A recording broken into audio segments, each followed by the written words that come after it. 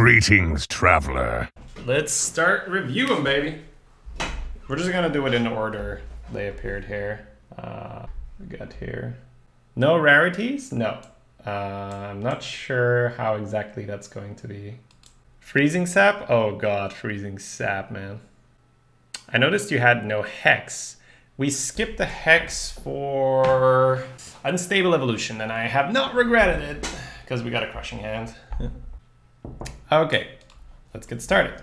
So, first card here, Temporal Anomaly. 2 mana 2 2, when you draw this card, add a random spell to your hand from your class. So, you don't even need to play it to get the effect. So, we can compare this to something like a Swashbuckler, something like a Blink Fox, where you get a random spell. Um, whereas this is probably even better because Blink Fox and Swashbuckler. Well, okay, so it's not better in terms of stats because I think one mana one one fine-ish for that effect. Three mana three three definitely fine for that effect. Two mana two two sure right, but like two mana two twos are just so prone to getting killed for free. Um, if you have it in your opening hand, you don't get the effect. Aha! Yeah, that's true. We can think about that. That's true. So you, hmm, yeah. So it's like a blink fox you can't keep. I still think it's good, right? But you need to just, you need to just hope you don't draw it. But no, that is a real downside. If it's in your opening hand, it doesn't proc. That's good to think about. See, that's why I like doing these live, right? Because you guys always catch things I miss. Uh, yeah, okay, that is a real downside. So I would say worse than the Blink Fox for sure, worse than uh, Swashbuckler. But it's still, you know, it's still something that makes your deck more flexible. And if you draw it in a mid game, you don't hate it. So, but yeah, yep, definitely. So looks like it's gonna be worse than those cards. All right, moving on. The Blessing of Aeons. Give a minion at the at the end of your turn. Oh, that is important. Give a minion at the end of your turn. Game plus one plus one. So what we have here is one mana, give your minion plus one plus one, but you can't trade with it first, right? So there is that limitation. But it is a win con, as in, you know, let's say you have a Tar Creeper protecting a minion, and then you put this on the other minion. It uh, it just keeps getting uh, it keeps getting stronger. If it were at the start of the turn, I wouldn't really like the card. At the end of the turn, it can actually give you a win con. So this looks um, this looks pretty decent as well. Probably probably something you want to pick in a more low curve aggressive paladin, right? And then you just put it on there. It's way better than Blink Fox, but you can't keep it in your opening hand, right? It's almost Gruul on a stick. Well, no, on a stick would mean like Gruul is Gruul on a stick because Gruul is the stick. This has no stick, right? All right. Next one is the, and we, I can go over them and then we will uh, we'll circle back, right? We can go over them and go over them with your comments as well. Next one is the Master of Realities. After you summon a minion, transform it into a random minion that costs two more. Okay, so the first thing you need to do is look at the stats of the minion because obviously the effect sounds pretty good, right? Anything you play immediately gets evolve evolve cast on it, right? Uh, this one is a 6 mana 5 7. Comparable to Boulderfist Ogre, which is a 6 mana. Uh, oh, so, oh my god, it's Summon. You're right. Holy shit. what? No, man. Okay, I'll I'll explain why that matters. so, first of all, the the body is super decent, right? This is a Defias Cleaner, if you guys remember that card. That card was drafted for its effect, of course, but very often you just picked it for like, eh, it's a body, it survives Flame Strike, it can push with it. But the text indicates that it works on totems, right? Your hero power becomes summon a three drop if you you know like before you would have call in the finishers right the summon summon tokens like uh, you can use feral spirits you can use chain gang oh my god chain gang is so disgusting with the, what no that's too strong man what the fuck okay i can see why ADwCTA is taking a break my god And I'm at card three. Oh man, what what what lies ahead, guys? What lies ahead? Oh my god. Oh, that is insane. Okay, well, yeah, that is insane. Next card is Flash Forward. Each player gets two mana crystals, draws two cards. Uh, we've seen this in the past, right? And it's always like kind of a meh thing. Like you look, you look at the effect and you're like, wow, two mana crystals, two cards, but your opponent gets it too. So then, what's the point? You're the one spending a card doing it. So unless chat has, uh, unless chat has a valid reason why this card isn't um, bad, then let me know. But for now, I'm a not like this one. At least not, you know, if next to Master of Realities, right? All right, so, okay. this is the one, this is the one people are gonna have fun with, right? So, seven mana, six, six. So that's not good, but that is playable. As in, you know, you play it, it's a big boy, it's a Rex Flame Strike, you know, various other AoEs. Um, the battle cry says from now on your turns. This is great, right? Because because it's a battle cry, it persists. Your turns are 15 seconds, and you draw to. It. Wait, does this? It's not for the opponent as well. Can you guys elaborate a bit? Because if this is what I think it is, that's insane. What? It's what? How does it not? Oh, how can they print that shit? Are you fucking kidding me? What? I thought the opponent would get two extra cards as well. I mean, come on. Well, yeah, let's just print some cards then, huh? Looks like it's not gonna matter. Let's break the rules of the game, right? Cards aren't that important in a card game, right, guys? Let's draw two cards. Wait, two extra cards. So you get three cards a turn. Okay, so we've seen a Luneth. I'm just saying, right? We've seen a Luneth. A Luneth is three though. That matters. So I think for this card, for this card, we need the math, as in how often the shit is going to burn you. So that is, that's the most important thing because if this, on average, does not burn you, right, a lot, then it's absolutely insane. It's absolutely batshit crazy, right? So, and just the fact that you don't detempo yourself as much as with a Luneth. A Luna draws four a turn? Well, I mean, this draws three if a Luna draws four, right? But yeah, no, no, I think, oh my god, that's insane. I'm not looking forward to that. I mean, come on let's be reasonable here, right? This is this is three weeks. Oh my god. Okay, well, how many cards are we in? All right, so we're five cards in, and my mind is broken. Okay, I thought that Master of Realities was gonna be like the bomb, but even though this card is amazing, even though this card is amazing, doesn't really compare to Murozond. All right, well, moving on. Oh my god, dude, what the? F- Ah.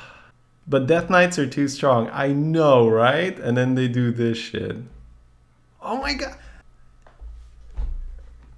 You draw three cards a turn, man. Which I still can't. Oh, I can't process it. Okay. Possibility Seeker. Four mana, four five, dragon shuffle your hand into your deck, draw that many cards. Okay, let me actually update the title first that we are reviewing. So I need to look at this one for a moment. I, I think the baseline is good, right? The baseline is good. It's probably great, but the baseline is good. In most other card games, reshuffling your hand and drawing that many cards is a good effect, right? So I'm just looking at Hearthstone, how often you're going to keep cards you want.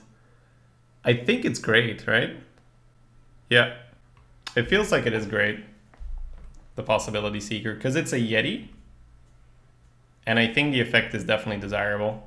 So, yep, Possibility Seeker looks great. All right, Harbinger of Catastrophe. Oh man, that name, okay. 6 mana 6 7. At the start of your turn, summon the highest cost minion from each player's deck. So the stats are Boulderfist Ogre. That alone indicates that it's probably going to be a good card, but then how does this work? You summon your highest cost card, they summon their highest cost card, which means they're going to be able to attack with their highest cost card and probably kill your Harbinger for free. Eh. We've seen those effects, right? Okay, so I guess this is a bit deck dependent. It, okay, so one of the biggest things is we need to know how likely it is that um, how likely it is that we uh, we're going to see these cards. Because if you're going to consistently be able to draft them, which I assume you're going to do because it's an effect, because it's an event, then it's um, you can build a deck around this, right? Because you can pick a Tyrantus and you can pick an Ultrasaur, right? if you have like three of these, like if these are common and you can pick, and you pick three of these, you can reliably like, you know, put two Ultrasaurs in your deck. And you can maybe even draft a possibility seeker to shuffle that Ultrasaur back into. Oh man, the things, the memes, the memes. Okay.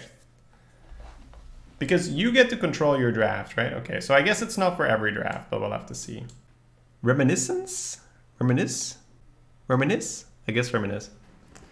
Add two random cards your opponent played this game to your hand. Oh my god. So I'm not sure if I like that more than Thought Steal. It is cheaper, but at the same time, it means that you're going to, by default, have all the very... Um, by default, you're going to have all the very cheap minions in there as well. Nah, probably not. I don't think I like this. I don't think I like this, because I think the whole point of drafting these kind of cards is going for big value and you're gonna have to hold this thing for a very long time if you want on average to get good cards, right? So I don't think this good. Infinite Wolf, okay, this is one of the more difficult ones, right? Uh, four mana, five, five. Like the, the first time you read this, you think it's absolutely batshit crazy, right? And it still might be, but let's have a look. It's a four mana, five, five, rush. After this attacks, shuffle it in your deck and give future Infinite Wolves plus two, plus two. So the problem with this is it can never go face, right? Because, well, I mean, it can go face, right? But you'd have to rush it, not attack, wait a turn, then uh, you get to attack with it. So you can't attack a minion with it because then it'll shuffle itself back. So it attacks, it gets plus two, plus two, and then gets shuffled in your deck. So it's kind of like, you know, you have a you have a militia commander where you attack something, but then the militia commander doesn't stay on the board. That's kind of the point. So the first time you cast this thing, it's like a four mana lava burst that can't go face, right? Four mana lava burst that can't go face. And then you shuffle it back into your deck. And then it can take a while until you see the next one. Now, at the same time, that doesn't mean that that effect alone isn't like playable at all, right? Like you get to deal five damage to something for four mana. And you can also put it on the board and just not attack with it and have a four mana five five with which you can attack once. So that is abusable, of course. Your opponent can put a taunt in the way and all that. If you draft two or three of these in one deck, what if it dies? I assume it doesn't get shuffled then, but maybe it does, but I don't think so. Okay, so this is a card I'm gonna have to play with. I think it's like not as insane as most people say just because they forget that it gets removed from the board. So if this thing would stay on the board and have the effect, my god, that's broken, right? Absolutely broken. Yeah, but I okay, so you get like a four mana seven seven so you get a four mana Devilsaur. Oh, eh, it's the same thing, right? It's the same thing. Like you have a four mana Devilsaur, which after it attacks, it doesn't even sap itself. It puts itself in the deck. Huh. Okay. I don't know. I think most people are going to overrate it a little bit, the Infinite Wolf. I think you're going to find that it's very annoying having to shuffle the wolf into your deck over and over and over again. Yeah. Okay. But we'll have to test it. All right, next one. Timeline Witness. 3 mana 2 4. Instead of drawing your normal card each turn, discover a card from your deck. So that is way better than drawing for anyone that was wondering. Because you get to decide from three cards rather than accept whatever the top of your deck has to offer. The stats are slightly underwhelming, but you're usually going to get at least one trigger off this. Hmm. So it's like you get a free tracking, right? You get one free tracking, and then if you can protect it, you have a track every turn. This combos with shuffle your hand into your deck card. Well, it doesn't, right? I mean, as in, you shuffle your hand into your deck, but not on every draw you get to track, right? Because it says instead of drawing your normal card each turn. Um, one side note, usually Discover does not take it out of your deck. Oh, you're right. Hmm, yeah, so you don't thin your deck at the same time. That might be okay, it depends a bit, right? I thought it's when you draw a card. Oh my god, yeah, that'd be that'd be that would be insane. That would be insane. Okay. Yeah. I don't know. I don't think it's crazy, crazy timeline witness. But cool. Cool card. Thief of Futures, 4 mana 4 3. Battle Cry, add a copy of the top card of your opponent's deck. Oh! Dude, another what the fuck card, man. What? You can't just do that. What? I mean, what the hell? I think this this this might go a bit underappreciated when people are browsing through the cards, right? Because you have all these flashy effects and all this, but this is a four mana, four three to begin with, right? Blink Fox is amazing, right? This is a four mana four three, which doesn't give you a random card, it gives you a card your opponent drafted to begin with, right? So the stats are better, a lot better. 4 3 or 3 3 is a huge difference. It gives you a better card on average, and it tells you which card the opponent is going to draw. So he knows which card you have, you know which card he has. Funny enough, if you play the card you steal, your opponent knows what he's going to draw. But oh my god. Oh my god, that's insane. Oh, it's oh, I thought it was a three drop. Okay, never mind. Not as good as I thought. Oh my god. Okay. Eh. Still good. Not broken, but still good. I thought it was three mana. I honestly thought, okay, chat, stop bullying me. We're moving on. I'm gonna forget that ever happens. Nah, nah, nah, All right. Wildlands Adventurer. five mana, five, five. Battle Cry, add a random card from the Hall of Fame to your hand. Okay, so now we need to see Hall of Fame, right?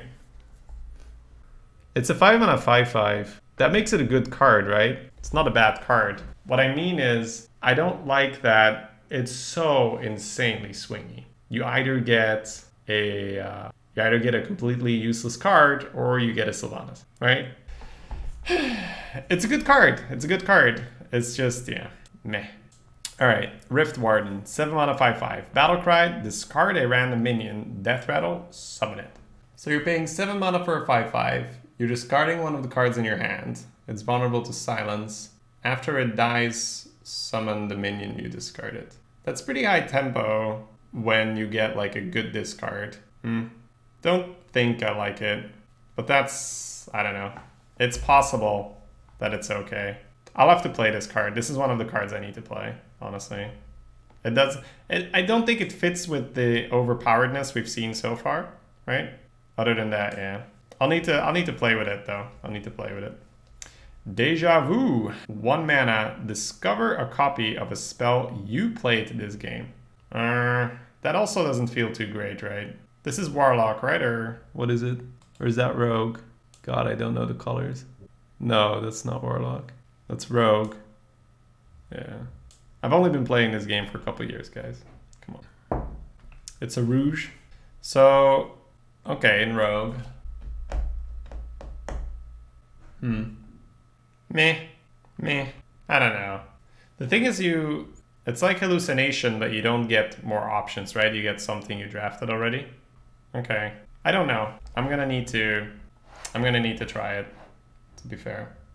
Alright.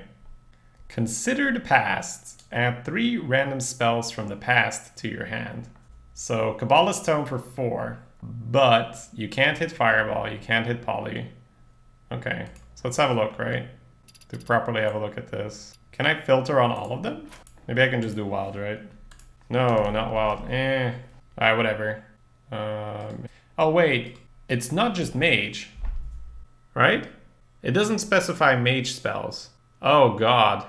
Dear lord. I have no fucking idea then. That's too much math. We'll leave that up to Stein. we'll leave that up to Stein. That's too much math for me. Alright.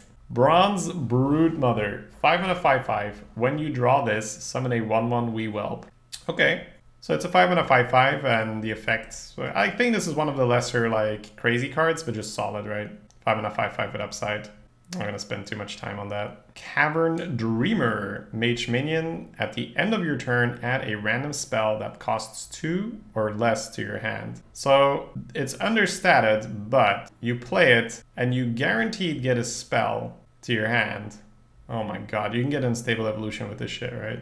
And then if they don't kill it, you get another one. Wow. Damn. I can see Value Mage becoming a thing, right? You just draft this, you draft this, you pick Flame Strike, you pick Meteor, you pick Blizzard, and you just sit back and let the value engine work for you. My god. Alright. Chromie, shuffle four historical epochs or epochs into your deck. We need to know these things, right, before we can rate her. Uh, does anyone have a link for the epochs or epochs? I'll, I'll review the next card and then we'll... Oh, looks like I already have one. Hey, thank you for that. Okay. They're all four mana. Uh, can we can we unban people that run into the bot, please? If there's a... Yeah, thank you, Tara. Okay, so opening the Dark Portal. Add two random legendary minions to your hand, draw a card, cast this when drawn. Oh my god. So we don't know which one she shuffles in or, or she shuffles all of them in. Oh my god. Okay. So she shuffles all of them in there. And I'm assuming all four of them, not just random. Oh my god, okay. So two legendary minions for free. Uh, Battle for Mount Hyjal. Give your minions plus two plus two. Draw. Oh, draw a card every time as well. Oh my. Oh my. Oh. Ooh. What? What? But no, you can't do that. Oh, you can't just do that. All right, escape from Durnholde. Uh, oh man, like if you played WoW, this is a throwback though, right? Yeah. Add two random spells to your hand, draw a card, cast this when drawn. Deal two damage to all enemies. Oh my god. Oh my god. This might be worse than Fal'dorei. Hmm. Well, Fal'dorei is really good, right? But this is definitely worse than Fal'dorei in terms of worse to play against because at least 4 4s you know that's going to happen, but the 2 damage might be insane when it hits, right? The plus 2 plus 2 might be insane when it hits. Giving the legendary minions might be insane if it's good, right? So, yeah. Why would it cost mana when the mana cost is not relevant? It's for when you, like, let's say you probe into it, right? It needs to have a mana cost for that reason. I don't think it will cost mana. Because let's say you coin, innervate, innervate Chromie, and then draw it. what's the game gonna do then? You don't have enough mana to cast it, right? So there needs to be a cost, but it will be free, I would assume.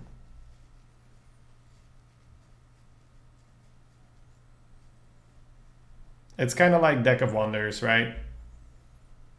The scrolls also have a mana cost on them, but they don't cost you anything. You think you have to pay for mana? Well, look at the wording on Scroll of Wonders, right?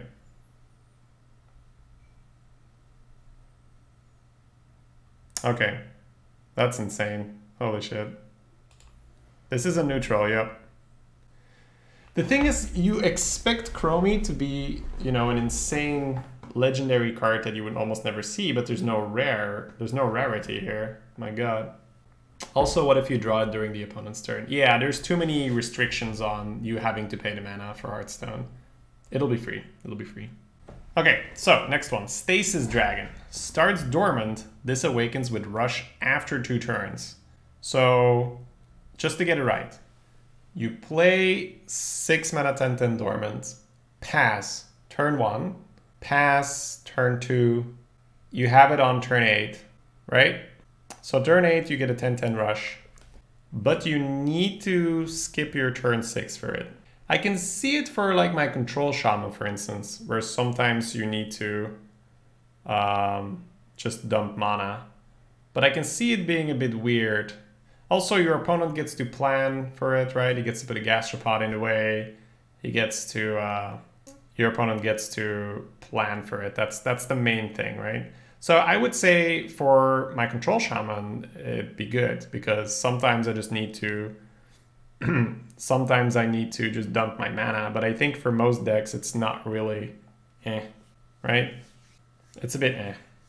All right, Fate Cleaver, four mana, four two. After this kills a minion, destroy all copies of it. So on the board, in your hand, in your deck. For both players, I assume. 4 mana 4 2. Eh. At first glance, this feels kind of eh. Like it's a weapon, right? But unless chat can enlighten me, it feels a little eh. Next one is Ripple in Time. Discover a minion. If you play it this turn, it has Echo. So one mana discover a minion. Let's start with that first, right? One mana discover a minion. So that would be like Raven Idol with the restriction that you can't pick a spell. So that doesn't sound great. But then the minion has Echo, which means that if you... The problem is you can't cast it early because then the Echo effect disappears. So it's something you want to cast in the very late game. So you can get like what would be a good hit of this? Like uh, Oracle, Loot Hoarder, right? Three Stone Hills in one turn. Yeah, but that's all this I don't know. I feel like it's a bit too restrictive. Doesn't seem great, right? Doesn't seem great. I'm also just comparing it to all the crazy stuff we've seen, right? We've just seen all the crazy stuff, so I don't know. It feels too restrictive.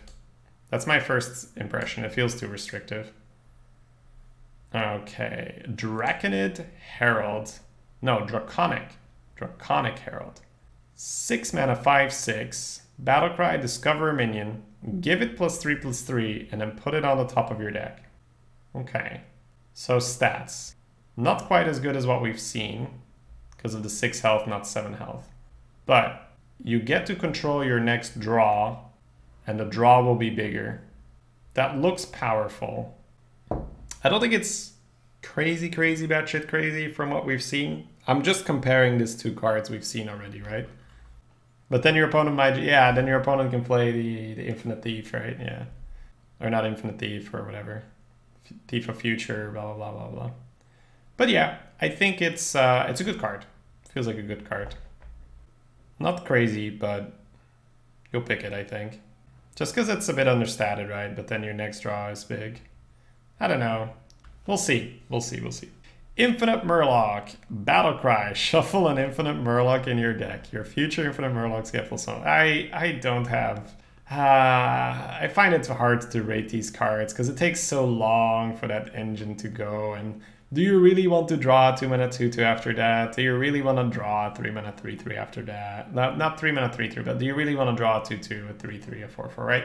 Like it takes so long for them to start to become decent, right? So, nah. I'm gonna say, I'm gonna say nay to the Infinite Murloc. Because you don't really want to put the uh, 2 2 or 3 3 on your deck. Even if it's 1 mana, right? Because by the time you draw the 1 mana 4 4, it's like what turn 12 turn 14 do you really want to draw 4 4 right not really you never fatigue eh eh all right stasis elemental battle cry freeze a minion until this leaves the battlefield what dude i like this though they're they're taking some elements from like mtg and other card games because this is this is an effect that we didn't have yet, right? This is probably something they're gonna test with to have something uh, similar for a card they're you know gonna properly design. This is this is just strong, right? This is just super strong. A four mana three five with a regular freeze because you pay you pay six mana for a five five freeze and that is a good card. This is a 4 mana 3-5, which is, granted, these days a little underwhelming. You don't really want 4 mana 3-5s anymore. Sen'jins tend to just get killed for free and all that. But if it has the freeze effect, that's great. If it freezes until this thing dies, that's insane, right? Where does the silence work? I'm assuming if you silence your minion it'll work. If you silence this, I don't think it'll work. I think the effect is on the other minion. But yeah, this is insane. I have been spoiled a little bit on this one, but still, what the fuck? Okay. Chrono Shot. Return an enemy minion to your opponent's hand. It costs two more. So Freezing Trap is a really good card. You might see it a little less now because it's in the top bucket and you basically have to choose like, you know, do I want the bow or do you want trap? Do you want Highmane? Do you want trap? But the big downside of freezing trap is that you can't decide whether your opponent's gonna attack with it or not. This thing you choose for only one mana more. That's just, oh my god. That's gonna be so toxic to play against and so fun to play with. You're just going to you're just going to shoot shit out of the way. We're definitely going to be playing some Hunter Boys. Because remember when they did the previous event and Blazing Longsword was a card? Warrior was just number one. Now, granted, there were some other things in place, but a big part of that was Blazing Longsword. So I can see the same thing happening for Hunter, where it's like, well, they have a lot of chrono shots. I guess the class is insane. I'll take my coaching session and once you figure this meta out. Honestly, I'm not sure if I can coach people in good good conscience during this clan fiesta. I might just postpone coaching sessions until we have real arena, right? Because what am I gonna coach you in, right? Yeah, draw the really good card. Yeah, good job, my man. Yeah, now use the really good card. Yeah, yeah, we'll get him. Because that's kind of the point. They can blatantly they, they don't really have to care for balance when they make this because it's only going to be in the game for three weeks. So there are going to be some insanely unbalanced cards in here. So it's kind of not the, it's it's really like whatever, right? Timeway Wanderer. We're just gonna move on. Five mana, six three. Battle Cry. Discover a spell. Reduce its cost by five, and then put it on your deck. All right. So let's see. It's not great for value because you don't put it in your hand. We remember Ethereal Conjurer, which was really good at the same stats. Put the spell in your hand. Now, the thing here is that the cost is reduced by five. So you're probably not going to want to play this in um, in every class, but I can see this being ridiculous in Mage, where you play it and you put a 1 mana Meteor on top of your deck. You put a 5 mana UI on top of your deck. You put a 0 mana Volcano on top of your deck. Shaman's probably not the best example because That's a lot of cheap spells due to the overload. Rogue, probably the same thing. So I would say I would just say look at the classes and look at the costs, right? I can see it in Mage, I can see it in Druid. One mana Spreading Plague, zero mana Starfall. Still doesn't feel crazy, more just annoying, right? That your opponent will get that tempo swing. Because you definitely detempo yourself by playing a 5 mana 3 health minion. But you get to pick the tempo back up later with the spell. Mind Control, yes, in Priest. Oh lord, in Priest. Scream, Mind Control, Holy Fire, eh, Holy Fire is whatever, but Amber, yeah, that's crazy. All right, Grasp the Future. Draw two cards, they cost two less. That seems good, right? I'm just thinking back up Lunar Visions. Lunar Visions was five mana instead of four, and only procced when you hit minions. This is one mana cheaper and always works. That seems really good. Like these cards are always a little difficult because you need to like see it in action, but it seems really good. It's in Warlock though, so yeah, obviously you have a tap, but still. Zero mana draw two? Not quite, because first of all, you can hit things that are, you know, one mana. Second of all, you can hit things that you don't want to play for another seven turns, which means that the mana you spend is awkward, right? But yeah, we'll see. Time-bound Giant costs one less for each card you've drawn. Oh god. So, how does that work, chat? Help me out here. Turn one, you draw one card. So, by turn... When is it playable? Turn 8 or so? It's 7 cost on turn 8. So it's a 7 mana 8-8. And then it's 6 mana 8-8. So on turn 8, you get to play this for 6 and your hero power. Okay. And you can make it cheaper with all the card draw effects. Oh, with the guy that shuffles your hand into your deck and draw. My god. Oh my god, that's insane, right? You have a couple of those Yetis and you play Giant? That's pretty insane. Oh my god. Yep. That's pretty sick. You can keep it in the opener. Oh, you can't keep it. Okay. I was like, eh, I'm not sure for that. Okay. Sure, sure, sure. Damn. Sick. So for people who want to see that themselves, use exclamation mark TOT. That's for Taverns of Time. That's going to be the name of the event. It's going to be live in five days. In five days, we'll have we'll get the uh, we'll get the crazy crazy cards here. But yeah, my God, hmm. seems insane.